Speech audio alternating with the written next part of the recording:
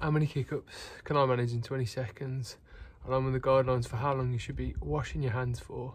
Timer starts as soon as I kick the ball.